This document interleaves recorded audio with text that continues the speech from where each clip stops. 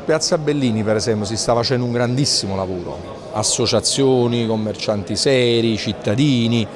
Voglio ricordare che pochi giorni prima del gravissimo omicidio della sanità